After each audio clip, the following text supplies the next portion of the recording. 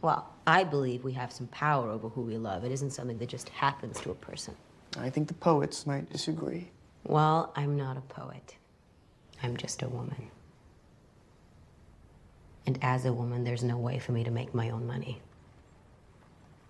Not enough to earn a living or to support my family. And if I had my own money, which I don't, that money would belong to my husband the moment we got married. And if we had children, they would be his, not mine.